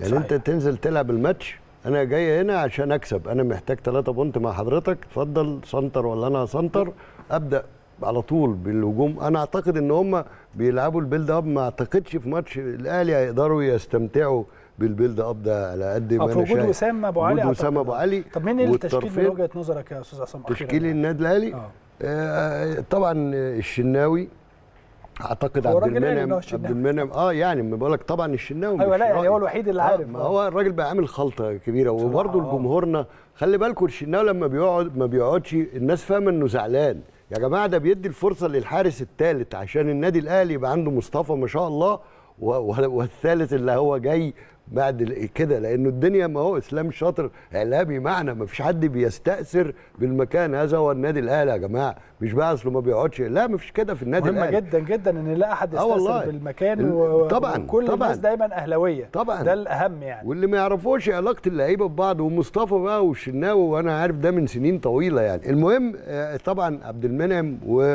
ورامي من وجهة نظري آه، هتلاقي على الشمال طبعا كريم وأعتقد إن عمر كمال عبد الواحد مهيأ إنه يلعب back right. آه، نص الملعب بقى أنا حاسس إن السولية ممكن يبدأ آه، ومعاه مروان وإمام الفراودة وسام والشحات. وقلنا مين تاني عندنا الطرف الثاني عبد القادر عبد القادر وأحمد عبد القادر؟ لا أحمد عبد القادر. ويبقى. معاك بقى أوراق استراتيجية بقى رضا سليم تقدر تغير آه، طبعا. معاك بقى أكرم ومعاك قفشة هاني، ومعاك. هاني وكهربا إذا دخل طبعا برضو قوة بالنسبة لأنه دي اللعيبة الكبار اللي أي فرقة تعمل حسابهم يعني صحيح. ما أنا مش حدش هيجي يعمل كبير عليا الأهلي هو اللي بيعمل كبير على اي حد مع احترامي ما حدش يزعل طبعاً، مني يعني طبعاً. بس فهي شخصية النادي الأهلي لازم تكون سابقة اللعيبة بدءا من فترات الإحماء لغاية بدء المباراة وده اللي إن شاء الله أنا عارف إنه ده الدور الطبيعي للجهاز ولاعيبه النادي الأهلي في المنازلات اللي الأهلي محتاجها. هو كده. حقيقي. أيمن. آه، يعني مش هختلف كتير معاك هو طبعا الشناوي زي ما كولر آه، هو صرح وقال. وخلي بالك دي برضو هو كولر عامل ربكة للكل حتى دلوقتي عملها في حراسة المرمى. يعني حتى حراسة المرمى اللي هي يعني معتادين إن- عصام قال تشكيله آه، ممكن. هتقول تشكيله بكره إن شاء الله يعني بالظبط ممكن كده. أو بعد بكرة يعني. فبنسبة كبيرة الاقرب كريم فؤاد منعم رامي ربيعة محمد هاني آه، مروان وإمام وأكرم آه، عبد القادر وسام والشحات. يعني أعتقد دي التوليفة الأقرب من الشكل اللي إحنا بنشوف عليه الأهلي في الفترة الأخيرة إن هي تبدأ المباراة يعني لاعب أو اتنين آه آه، مثلا عندي لعب وعندك استنوا عندي استنوا بالظبط عندك وده. الطبيعي لأن. الفرقة الحمد لله كلها الحمد لله لو قلت آه، أي أسماء هتجد. إن الدنيا موجودين. وحاضرين وجمهور الأهلي موجود يا كابتن إسلام التذاكر 15,000 خلصانة الحمد لله. محدش هيستفزنا محدش هيخرجنا عايزين ننزل نلعب. كورة هنخلص الماتش كورة ناخد الثلاث نقط إن شاء الله بإذن الله ونروح إن شاء الله ربنا يكرمنا بثلاثة جمهور نقاط الناحية الثانية بقى يعني ربنا يستر. يبقى جمهور. ناخد ثلاثة نقاط مهمة جدا إن شاء الله إن شاء الله. يا رب تضاف يا رب، للنادي رب. في المرحلة- المرحلة القادمة. شكرا جزيلا يا أستاذ عصام أشكرك كابتن ربنا يخلي حضرتك. شكرا. شكرا جزيلا شكرا كابتن. خلينا نطلع فاصل وبعد هذا الفاصل النجم الكبير كابتن عمرو الحلواني في ضيافة البيت الكبير. أهلا وسهلا بحضراتكم مره أخرى اعزائي المشاهدين. خلوني ارحب بضيفي وضيف حضراتكم في هذه الفقره النجم الكبير كابتن عمرو الحلواني. ازيك يا عمور؟ كابتن اسلام. أخبارك يا حبيبي؟ حبيبي يا كابتن. كله كويس؟ زي الفل يا كابتن مصر. شايف ماتش البيراميدز إزاي؟ آه، مباشرة. آه طبعا. آه، ماتش مهم جدا. النادي الأهلي الفترة اللي فاتت آه، ماشي الحمد لله بخطى ثابتة. النادي الأهلي آخر 12 ماتش كسبان في الدوري وبيراميدز برده كسبان 14 ف النادي الأهلي الفترة الأخيرة عارف هو عايز إيه يا كابتن إسلام؟ مركز جدا آه، مستر كولر عامل rotation على أعلى مستوى. كل اللعيبة آه، بتأدي اللي عليها. أي حد بيبقى احتياطي وبينزل زي عمرو السولية بينزل بيعمل آه، فارق جامد جدا. كل اللعيبة مركزة. النادي الأهلي عنده آه، 30 لعيب مميز 30 لعيب على أعلى مستوى. مستر كولر في التمرين بيبان اللعيبة اللي مركزة وبيدي اللعيبة حتى بتلاقي بيفاجئنا بطاهر محمد طاهر. الماتش قبل فات بياخد man of the match بقى له فترة ما كانش بيلعب. الفترة اللي فاتت بيلعب وبيأدي على أعلى مستوى. حسين الشحات بيلعبه ماتشين وقعده واحد احتياطي. إمام عاشور الماتش اللي قبل اللي فات كان مريحه والماتش اللي فات بيلعب. فأنا شايف اللي فيه rotation على أعلى مستوى. اللعيبة مركزة. اللعيبة دايما كابتن إسلام لعيبة النادي الأهلي بالأخص بيحبوا يلعبوا تحت ضغط. فأنا مش قلقان من الماتش بتاع بيراميدز بالعكس. أنا شايف النادي الأهلي اتعود على كده أكتر من من من موقف. النادي الأهلي بطل الدوري النادي الأهلي بطل أفريقيا. اللعيبة كلها بتبقى مركزة في الماتشات الكبيرة بتلاقي اللعيبة الكبيرة. أنا مش قلقان ماتش آه، بيراميدز يا كابتن إسلام. أنا متأكد النادي الأهلي هيعمل ماتش كويس جدا. النادي الأهلي هيبقى التفاصيل الصغيرة بتاعت مستر كولر أكيد بيذاكر الفترة دي واللعيبة كلها بتذاكر وعارفين الماتش ده مهم جدا بالنسبة لهم. عارفين الماتش ده يعني بنسبة إن شاء الله الأهلي كسب الماتش ده كابتن اسلام هيبقى بنسبة 70% لا لا الكلام ده مش أنا وجهة نظري إن هذا الكلام غير صحيح. لا يعني معرفش وجهة نظري. هو. في ف... لا النادي الأهلي لو كسب بيراميدز لا معنويا هيبقى أعلى معنوياً، وماتشات في أربع ماتشات إن شاء الله الأهلي يكسبهم هيبقى فرق بدل ما يبقى فرق نقطة هيبقى فرق أربع نقط فده طبعا فده- أنت قول اللي أنت عايزه آه طبعا. لكن أنا من وجهة نظري دايما إن مثل هذه المباريات آه بتديك أريحية معنوية على نادي بيراميدز اللي هو المنافس دلوقتي اللي, بتتنافس معاه اللي بتتنافس معاه ولكن في نفس الوقت أنا بشوف إن لو لو كسبت هذه المباراة مش هتاخد الدوري لا مش هناخد قدر. الله. خسرت هذه المباراة مش هتخسر الدوري لسه لسه بالنسبة لك لسه 10 ماتشات تانية أنا معاك يا كابتن إسلام بس الماتش ده لو كسبته لا هيخلي ال- الفرق إن شاء الله بعد الأربع ماتشات اللي هنلعبهم هيبقى فرق أربع نقط فالموضوع هيبقى كويس جدا. معنويا الأهلي هيبقى إن شاء الله راكب ال- الدوري. معنويا هيبقى النادي الأهلي كسبان بيراميدز اللي هو أول دوري دلوقتي وفرق بينه وبينه أربع نقط. آه، 11 نقطة وفرق فرق بينه وبينه أربع ماتشات. فأنا شايف يا كابتن إسلام الماتش ده مهم جدا. لعيبة النادي الأهلي الماتش ده آه، آه، هيبقى اللعيبة مركزة جدا. الماتش ده عارفين إن الماتش الأهلي وبيراميدز الفترة اللي فاتت بيبقى ماتشات بتبقى صعبة جدا. بس أنا متأكد اللعيبه اتحط في الموقف ده كتير جدا كابتن اسلام اللعيبه باين قوي واخدين ماتش بماتشه اللعيبه باين قوي اللي هي مركزة عايزين ياخدوا ثلاث نقط بثلاث نقط. فبصراحة أنا شايف الفترة اللي فاتت النادي الأهلي ماشي بخطى ثابتة وأنا شايف النادي الأهلي الفترة الماتش بتاع بيراميدز هيعمل ماتش آه، إن شاء الله كويس جدا. باين حتى اللعيبة كنت بتكلم مع معظم اللعيبة امبارح لا مركزين قوي كابتن إسلام مركزين قوي لعيبة كل واحد عارف اللي ليه واللي عليه. اللعيبه آه، حتى الاستشفاء بيعملوه على أعلى مستوى. كنت بكلم حتى امبارح لعيبة كنت بكلمها قال إحنا في الاستشفاء يعني هنخلص وهنكلمك. اللي هو مركزين قوي في الموضوع بتاع الاستشفاء الموضوع بتاع التمرين. وده أهم دلوقتي جداً. هذا التوقيت. آه إن هو ده دايما زمان ما كانش فيه كده زمان ما كانش فيه كده. فاللعيب نفسه بيبقى عارف اللي ليه واللي عليه وعارف اللي بيكسبه وعارف اللي بيخليه يبقى كويس. فده في حد ذاته ده كده لعيبة professional لعيبة عارفة عايزه إيه ومركزين قوي اللي هم إن شاء الله ياخدوا الدوري ويكسبوا الماتش الجاي بإذن الله. تقييمك لفريق بيراميدز؟ بص يا كابتن إسلام بيراميدز السنة دي عامل موسم استثنائي بصراحة. يعني عامل موسم استثنائي عامل آه آه، يعني اللعيبه بدأت آه، تحس اللي هي بقى لها ثلاث أربع سنين آه بي- آه بينافسوا على دوري بس ما بياخدوش دوري بياخدوا ثالث رابع. بيخشوا كونفدرالية بيخشوا في أفريقيا. السنة دي اللعيبة آه عاملين ماتشات كويسة جدا وحسوا كمان المكسب بتاعهم يا كابتن إسلام. حتى النادي الأهلي ما كانش بيلعب معاهم في الم- في الدوري في توقفات عشان بطولة أفريقيا. فاللعيبه بيراميدز لعبت ماتشات الماتش خلاهم يكسبوا الثاني الثالث فحسوا اللي هم بيبقوا قريبين اللي هم ينافسوا على الدوري. أما كسبوا 10 ماتشات بعد كده كسبوا 11 في 12 فاللعيبة حست اللي هي بقت موجودة بينها وبين النادي الأهلي. بقى فيه منافسة على الدوري ونادي الزمالك بعد عن ال- ال- الدوري تماما. فهي اللعيبة حاسة بنفسها. فأنا شايف إن السنة دي بيراميدز بصراحة عاملين عاملين موسم يعني مميز بالنسبة لهم. يعني. حتى ال squad بتاعهم squad آه، مميز وعاملين عندهم لعيبة كويسة قوي. بس مع العلم يا كابتن إسلام squad بيراميدز مش بنفس الخبرة ولا ال quality بتاع النادي الأهلي. يعني squad بيراميدز لعيبة مميزة جدا بس مش بتوع بطولات. ما خدوش بطولات قبل كده. لعيبة النادي الأهلي لا لعيبة على أعلى مستوى squad عالمي لعيبة آه، كل واحد عارف بس اللي واللي هنا عليه. ممكن خد- يقول لك خدوا إيه؟ بطوله أفريقيا. ممكن يبقى يقول لك هنا الدافع مثلا بالنسبة لبيراميدز إن أنا كلاعبين ما خدتش آه، بطولات كتير ال- ال- المدرب بتاعهم برضو ما خدش آه، بطولات كتير ولكن ما خدوش بطولات خالص. آه ممكن يكون ده دافع ليهم. طبيعي بس وممكن يكون stress ليهم.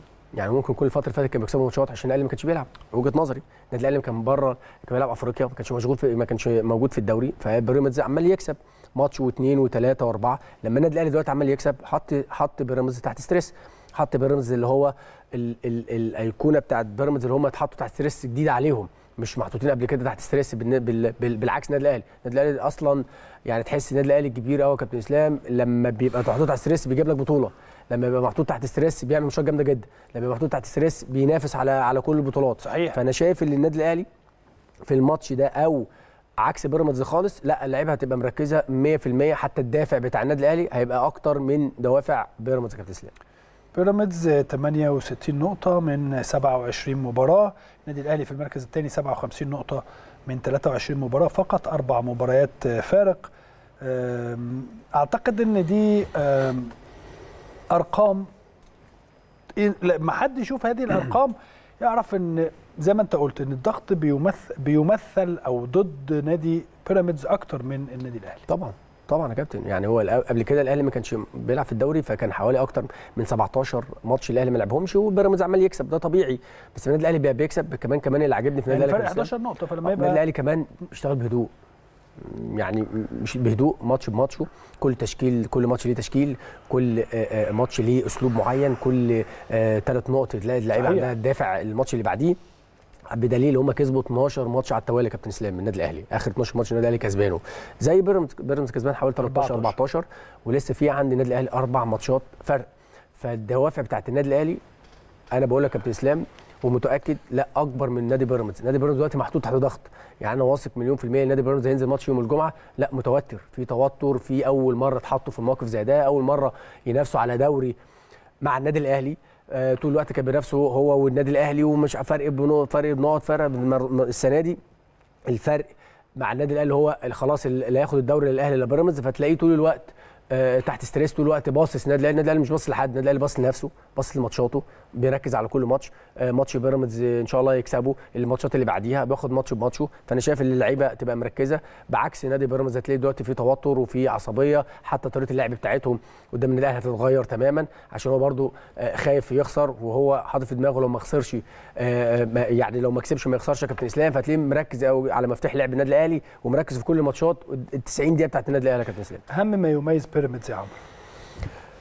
نادي بيراميدز عنده squad هايل عنده مصطفى فتحي عامل موسم هايل جدا عنده الشيبي من أفضل اللاعبين في الدوري في. الدوري وعامل أسيستات وعامل عنده حلول عنده حلول كابتن. هايل برضه، شيبي عامل برضه. موسم هايل آه، في أكتر من لعيب آه، عاملين آه، ماتشات هايلة السنة دي بس دول أكتر اتنين بالنسبة لي يا كابتن إسلام اللي اللعيبة بتتفرج على ماتشات الدوري لا، كلها بس مايلي مثلا هايل بيجيب حلو. اجوان بس آه، آه, طيب. عنده اكشن أنا ماشي بس بس تمام يا كابتن بس ما بيديلكش المستوى اللي هو كل ماتش. عنده 8 آه أنا بتفرج على ماتشات كلها يا كابتن إسلام. لعيبة بيراميدز لعيبة كل على بعضها لعيبة هايلة بس أنا بتكلم على اللعيب اللي بيديك كل. ماتش 8 و9 من 10 مصطفى فتحي بيديك. الشيبي تلاقي لو جيت بصيت على 80% من من من اجوان آه، بيراميدز هتلاقي الشيبي هو اللي عاملها أو مصطفى فتحي جايبها أو عامل أسيستات بجبهة الاثنين. دول آه الاثنين دول بصراحة عاملين موسم استثنائي بالنسبة للبيراميدز وعاملين حالة. كل لعيبه لعيبة مميزة بس مش بنفس الأداء. ممكن واحد يدي لك ماتش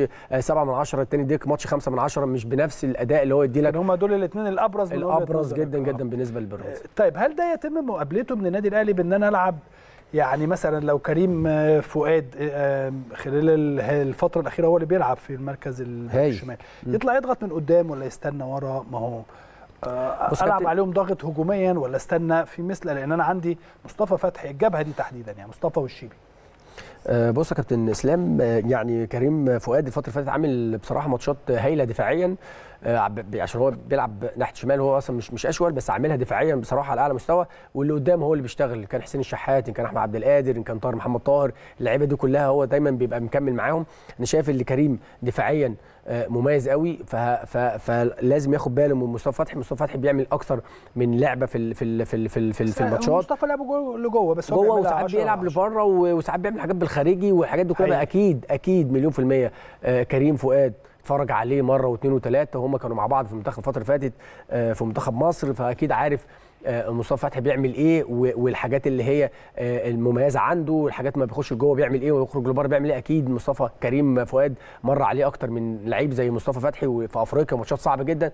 فأنا مش قلقان من من الموضوع ده.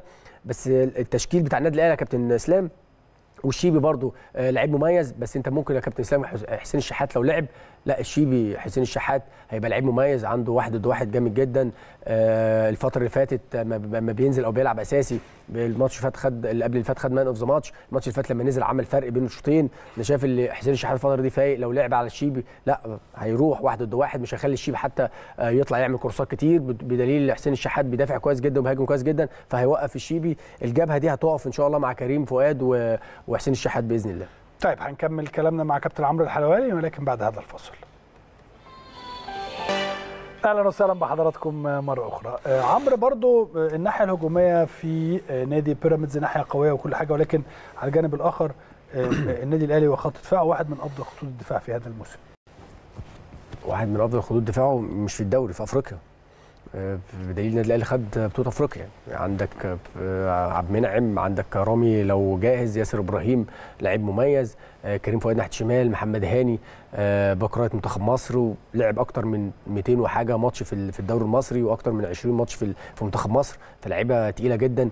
مرت الظروف دي عليهم أكتر من من ماتش يا كابتن اسلام لا اللعيبة دي أنا شايف حتى الفترة اللي فاتت اللعيبة كانت مركزة جدا وكان في يعني مركزين مع بعض. التشكيل حتى كابتن الفترة اللي فاتت اللعيبة مركزة قوي مع بعض اللعيبة بقى حافظة بعض قوي اللعيبة بقى عارفة اللي هم عايزين إيه اللعيبة بقت مركزه هدفهم واحد اللي هو الدوري. فحتى تلاقي لما محمد عبد المنعم موجود دايما تلاقي كريم فؤاد جنبه دايما تلاقي ياسر إبراهيم أو رامي ربيعة دايما ياسر إبراهيم معاه الكورة تلاقي محمد هاني على طول موجود معاه تلاقي آه، أكرم توفيق على طول في block مع كريم مع محمد هاني مع عبد المنعم تلاقي إمام عاشور دايما طول الوقت بيدافع مع أكرم توفيق. طول الوقت تلاقي مروان عطية طول الوقت موجود. آه، إمام عاشور box to box رايح جاي. لا تلاقي اللعيبة كابتن فيه نغمة آه، كويسة قوي بينهم وبين بعض من كتر الماتشات اللي لعبوها مع بعض من كتر حتى الماتشات المكسب يا كابتن صحيح. إسلام. المكسب بيجيب مكسب اللعيبة حفظت بعض لما بتلعب مع آه، لعيب جنبك ماتش واثنين وثلاثه وأربعة وخمسة خلاص أنت حفظته حتى بالعين حفظته آه، اللعيب اللي جنبك حتى بتبقى عارف عيوبه وميزاته آه، ممكن تروح تساعد جنبه ممكن تروح تقف جنبه في الكورة بتاع دفاعيا وهجوميا. فأنا شايف اللي الدفاعية النادي الأهلي مش بس الخط اللي ورا لا دفاعيا ال 11 لعيب أو ال 10 لعيبة كلهم مع بعض بلوك. ودفاعيا النادي الأهلي كمان بيبدأ من وسام تلاقيه طول الوقت موجود بيدافع مع اللعيبة في الكور الثابتة ومن قدام. فأنا شايف اللعيبة ميزة النادي الأهلي الفترة اللي فاتت يا كابتن إسلام اللي كل اللعيبة بتدافع مع بعض وبيهاجموا كويس جدا يعني. طيب آه، النادي الأهلي بيعتمد دائما على الأطراف وهي من أهم ما يميز بيراميدز ولكنها أيضا نقطة ضعف واضحة لبيراميدز. بص كابتن نقطة ضعف بيراميدز الدفاع. الدفاع بتاعهم مش على أعلى مستوى حتى تلاقي كمية الأجوان اللي داخلة فيهم. يعني مثلا ممكن بيراميدز يكسب ثلاثة يخش فيه جونين. آه، يكسب اثنين يخش فيه واحد. آه، ممكن آه، يكسب أربعة يخش فيه جونين أربعة اثنين فطول الوقت طول الماتشات تلاقي في جوان داخلة فيه. يعني لو جيت الاعداد بتاعت الأجوان داخلة بيراميدز تلاقي أرقام كبيرة. فدفاعيا بيراميدز حتى مش بيركز آه، في الكور الثابتة. الكور الثابتة عند بيراميدز ضعيفة جدا كابتن إسلام. ال- الكرات وال- وال- والكور الثابتة اللي على الجناب حتى الكروسات اللعيبة بتاع الدفاع بيقفوا غلط ما بيقفوش man to man ما بيبقاش مركزين. حتى أحمد الشناوي الحارس المرمى بتاع بيراميدز يا كابتن بس كنت هسالك عن هذا الأمر حراسة المرمى في بيراميدز. جون هايل طبعا بس آه، عنده عيب صغير كابتن الكور اللي بتشاط عليه من بعيد ما بيبقاش مركز. وكمان أحمد ما بيركزش ال 90 دقيقة.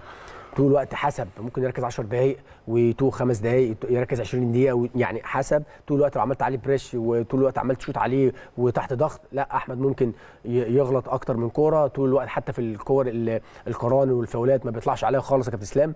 فأنا شايف اللي, الدفاع أحمد الشناوي لا لو إحنا ضغطنا عليهم من قدام ولعب النادي الأهلي على طول طول الوقت عايز أكسب لا ممكن يبقى نقطة ضعف ونكسب إن شاء الله بإذن الله بإذن الله كده طيب على الجانب الآخر انت بالنسبة لك حراسة المرمى والدفاع واحدة من أهم طبعاً. ال- الخطوط والمميزات اللي عندك على الرغم من انت داخل برضو فيك أهداف كتيرة في آه، هذا الموسم. يعني بالنسبة لنا لما يخش فيك 18 هدف ولا أكتر شوية تبقى الأمور بالنسبة لنا صعبة جدا. آه، يعني بيبقى آه، يعني أنا شايف يا كابتن اسلام ال 18 هدف آه يعني هو رقم كبير. آه، يمكن اللي فاتت آه. يعني 18 أو 19 هدف رقم كبير بس هي معظمها بتبقى من كور ثابتة ضربة جزاء يعني مش حاجات مثلا واحد ضد واحد مش حاجة يعني مم. حاجات اللي هي أوكي خلاص ضربة جزاء الحاجات اللي هي مش ما تبينش عيوب الدفاع قوي ما تبينش مثلا مش غلطة مثلا من مدافعين ممكن م- مرة مثلا عبد المنعم يغلط طبيعي ممكن ياسر إبراهيم يغلط مرة طبيعي بس مش الغلطات طول الوقت متكررة وكمان الدوري السنة ده يا كابتن م- مش يعني النادي الأهلي دوري صعب فالناس برضو عايزة تكسب وعايزة تجيب ف- فطول الوقت وكمان اللعيبة كمان كانت بتبقى مجهدة جايين من أفريقيا بيلعبوا دوري آه، بيلعبوا كل ثلاث أيام ماتش فبرضو ممكن التركيز بتاعهم ما بيبقاش 100% فأنا شايف ال ال 18 جون أو 19 آه كتير بالنسبة للنادي الأهلي بس بالنسبة للدوري للدوري كله هتلاقي من أقل الفرق داخل فيها جوان النادي الأهلي يعني 20 هدف آه. يعني حاجة حاجة كده.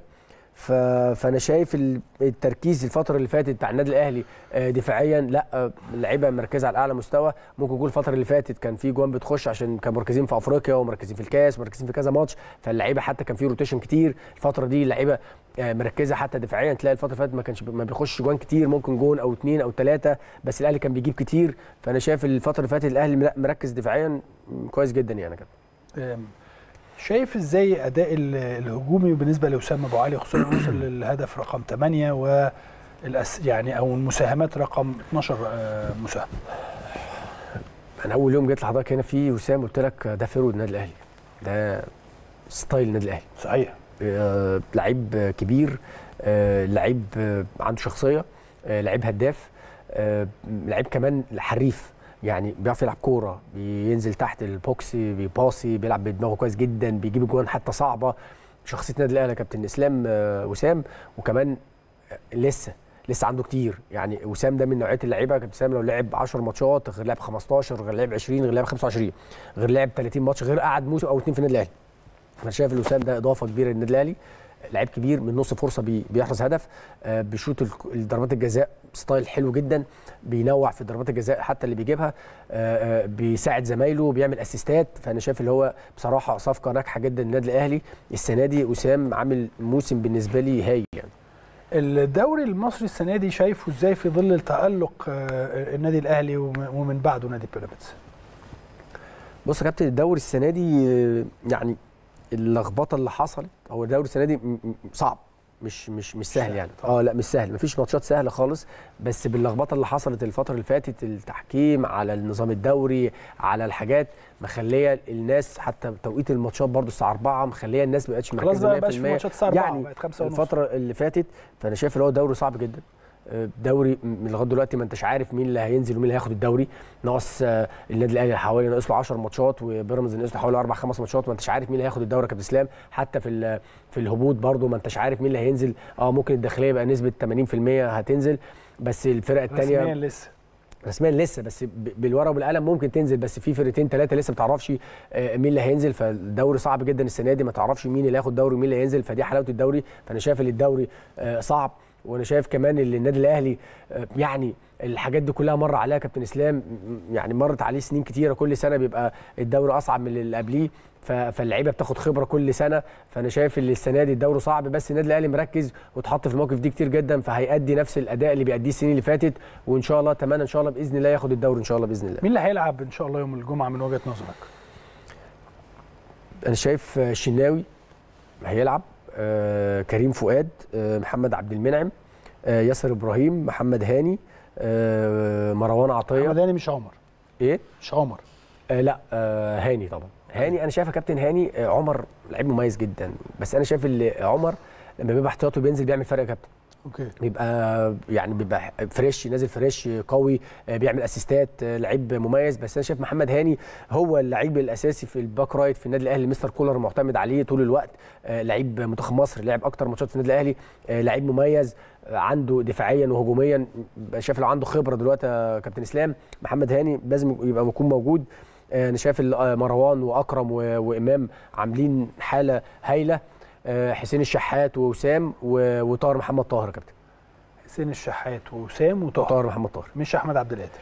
أحمد عبد القادر ال- الماتش اللي فات لما لعب ما كانش لسه في أحسن حالاته. أنا شايف إن هو ممكن الماتش ده يبقى موجود على على الدكة وينزل يعمل فارق. أحمد عبد القادر لعيب مميز جدا. أنا واحد من الناس بحب لعب أحمد عبد القادر جدا. عنده شخصية آه، ما بيخافش بيروح واحد ضد واحد لعيب مميز يعمل لك فارق في أي وقت. أنا شايف اللي هو آه، لسه م- م- موضوع الإصابة لسه مش مش فت 100% فهيبقى ليه دور بدل ما يلعب 90 دقيقة ممكن يبقى يطلع مجهوده كله في 30 دقيقة أو 35 دقيقة يفيد النادي الأهلي. فأنا شايف أحمد قادر لو قعد احتياطي ونزل 30 35 دقيقه هيدي النادي الأهلي 100% بتاعته ويعمل آه، ويعمل فرق مع النادي الأهلي إن شاء الله بإذن الله. إن شاء الله ربنا يكرمنا في هذه المباراة مباراة مهمة ومباراة صعبة ربنا يكرمنا فيها.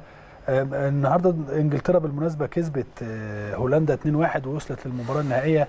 اذا ال- ال- المباراة النهائية ما بين أسبانيا وإنجلترا مباراة حلوة. بص يا كابتن أنا من نهائي يومين ال- اليورو يعني أنا أوروبا. من يومين من يومين اتسألت نفس السؤال قلت أسبانيا وإنجلترا. قلت نهائي اليورو أسبانيا وإنجلترا. آه ف- الاقرب صحيح. الأقرب الاثنين أسبانيا وإنجلترا. واللي هياخد البطولة دي إنجلترا. إنجلترا. إنجلترا.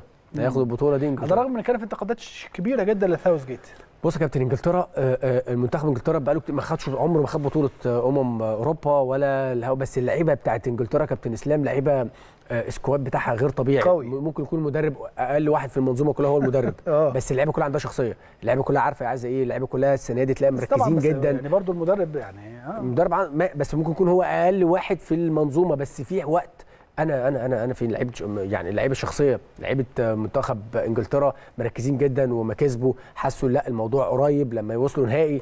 أنا بقول لك كابتن إسلام اسبانيا برضو عامله ماتشات هايله وعندها لعيبه جامده جدا ولاعيبه يعني بيمتعونا أكتر فرقه ممتعنا في في اليورو هي اسبانيا. بس أنا بقول لك كابتن اسلام انجلترا هي اللي هتفوز باليورو. انجلترا الأقرب اللي هتفوز بيه. مع إن اسبانيا عامله شغل جامد جدا. احسن فرقه في البطوله. بس الله. النهايات ما بتتلعبش يا كابتن. النهايات تتكسب. بال بال بال بال مين بالنتيجة؟ آه. بالظبط كده. يعني ممكن اعمل اداء كويس جدا واخسر. وايه رأيك باللي بيحصل مع المنتخب الاولمبي؟ والله يا كابتن أنا يعني الأولمبياد دي أنا كنت واحد من الناس يعني كان كنت في المنتخب الاولمبي كان أمنية حياتي العب أولمبياد. كان في الصين بس إحنا ما- ساعتها كانت المجموعة بتاعتنا كانت مختلفة عن دلوقتي. كان نلعب ماتش رايح جاي اللي يكسب هو اللي يروح أولمبياد غير المجاميع وغير أفريقيا والحاجات دي. كان أمنية حياتي نلعب أولمبياد في حاجة كبيرة جدا اولمبياد يا كابتن اسلام فاللي بيحصل منتخب مصر أنا مش مصدقه يعني أنا كنت بتفرج أنا مش مصدق. اللي أي نادي مش عايز يودي اللعيبة بتاعته أو أو الناس مش عارفة آه، آه، تودي اللعيبة بتاعتها اللعيبة المميزة أو اللعيبة الكبيرة واللعيبه الصغيرة ده, ده, ده بالنسبة لي أنا أنا كنت مصدوم. منتخب مصر هو فوق ال- المنظومة كلها وأي أي أي حد مدير فني بيشاور على أي حد يروح منتخب مصر. إيه المشكلة؟ أنا أنا مش عارف ترتيبات الدوري يا كابتن بس أنا إيه المشكلة؟ آه طبعا إيه طبعا؟ كلامك مظبوط في آه إيه المشكلة؟ لما الدوري توقف وياخد اللي هو عايزه.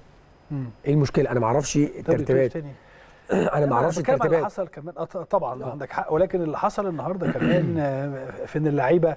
يعني المفروض كانت إن هي تسافر النهارده وبعدين فجأة قال لك اصبر شوية. ما تقريبا ال- ال- الفيزا ما اتعملتش في حاجة اسمها تقريباً. كده. ما أنا مش أنا مش عارف. طب الناس بتوع المنتخب حاجة؟ اسمها كده؟ ما أنا مش أنا ده جديد عليا يا كابتن إسلام. جديده علينا كل مثل هذه ال- الأمور. وموضوع برضه بتاع اللعيبة يعني من النادي الأهلي ودى اللعيبة بتاعته من أول يوم. اتفضل. حتى موضوع الماتش بتاع آه، بيراميدز اللعيبة الصغيرة آه، اللعيبة بتاعتنا بتاعت النادي الأهلي. النادي الأهلي قال لك روح آه، موجودين مش عايزينهم يلعبوا ماتش بتاع بيراميدز. وهم أصلا بس هي دايما ال- الألعاب الأولمبية اللي موجودين في المنتخب الأولمبي لازم يبقوا موجودين. في المنتخب الأولمبي الألعاب الأولمبية دايما بتبقى في الوقت ده ليه؟ عشان ما يبقاش في دوري ولا. في بتاع. فأنت طبعا الموضوع بالنسبة لك إن أنت بتلعب دوري لغاية 10 8 ولا 15 صعب قوي يا 17 كابتن. 8 صعب جدا. حاجة صعبة جدا صعبة جدا جدا يا جدا. كابتن. ولازم نبدأ. بقى. في ظل ظروف صعبة. كابتن إحنا السنة الجاية لازم نبدأ من أول وجديد لازم نعمل منظومه من أول وجديد لازم نقعد مع ناس آه، يعني بتحط الجدول من أول يوم لآخر يوم تحط ماتشات أفريقيا تحط ماتشات الدوري تحط ماتشات الكاس يبقى اللعيب داخل عارف اللي هو من أول يوم هيلعب لغاية آخر يوم هيلعب فال style بتاعه هياخد أجازته إمتى هيعمل آه، إيه، الماتشات. بتاعته بطولة السوبر بطولة ال- حتى كمان النادي الأهلي كابتن إسلام السنة الجاية عنده ماتشات كتير جدا صعبة عنده بطولات كتير قوي فلازم يتحط له من دلوقتي الجدول لازم الناس تبقى عاملة حسابها عاملة حساب النادي الأهلي هيلعب كذا بطولة أكتر من أربع خمس بطولات السنة الجاية. ممكن النادي الأهلي السنة الجاية كابتن سامي يلعب أكتر من 70 ماتش. النادي الأهلي السنة الجاية ممكن يلعب أكتر من 70 ماتش. فلازم الاتحاد الكوره يبقى عارف الموضوع ده ومرتب له ومرتب الدوري من أول يوم لآخر يوم عشان كل الأندية تبقى عارفة اللي ليها واللي عليها يعني. فأتمنى ده يحصل إن شاء الله السنة الجاية عموما. نتمنى التوفيق يا رب في لمنتخبنا الأولمبي في المباريات القادمة لأنه يحمل منتخب اسمه منتخب مصر منتخب مصر. كلنا هنبقى في ظهره منتخب مصر الاولمبي يعني كلنا طبعاً. هنبقى في ظهره خلال المرحلة القادمة. أنا بشكرك جدا يا عمرو على وجودك معانا. ودايما بتبسط بوجودك معانا. حبيبي يا كابتن إسلام يعني أنت أخويا الكبير واتشرفت لعبت معاك في النادي الأهلي طبعا. كنت لعيب كبير قوي يا كابتن إسلام كنت back right على أعلى مستوى. فكنت من أصعب الناس اللي أنا ب... ب... يعني ابقى قدامك ببقى- كنت بتتعبني ب- أنت برضه. عشان بس صغير، أنا كنت ببقى. كنت ببقى شايل همك شايل همك قوي وأنت بتلعب قدامي. يعني شرف ليا موجود ومبسوط مع حضرتك على طول أنا ببقى مبسوط وأنا موجود معاك أنا بشكرك شكرا جزيلا كابتن عمرو الحلواني. زي ما قلت لحضراتكم إن شاء الله ربنا يكرمنا في مباراة يوم الجمعة اللي جاية وتبقى أنا متأكد إن 15000 متفرج هيكونوا متو- متواجدين لمؤازرة ومساندة ودعم النادي الأهلي في هذه المباراة. زي ما قلت لحضراتكم طوال هذا الأسبوع مباراة مهمة مباراة صعبة مباراة تليق بالدوري المصري. إن شاء الله نشوفها يوم آه، أو بأهم فريقين في الدوري المصري دلوقتي. سواء نادي الأهلي أو نادي بيراميدز إن شاء الله. لكن هذه المباراة لو ربنا كرمنا وكسبنا مش معناها إن إحنا خدنا الدوري. لو لا قدر الله حصل أي حاجة تانية مش معناها إن إحنا خسرنا الدوري. لسه للنادي الأهلي 10 مباريات ولسه لنادي بيراميدز بقية مباريات عموما نتمنى يا رب كل التوفيق للنادي الأهلي في مباراته يوم الجمعة أمام بيراميد- بيراميدز. زي ما قلت لحضراتكم قبل كده جميع المباريات أو مباراة الأهلي وبيراميدز هتلعب بدلا من الساعة 7 الساعة 9 بالليل إن شاء الله آه، في استاد القاهرة. إذا سيكون الاستوديو التحليلي لهذه المباراة بداية من الساعة السابعة. كانت هذه حلقة نهاية الأسبوع في البيت الكبير. أنا بشكركم شكرا جزيلا وإن شاء الله ألتقي مع حضراتكم وحلقة جديدة من البيت الكبير.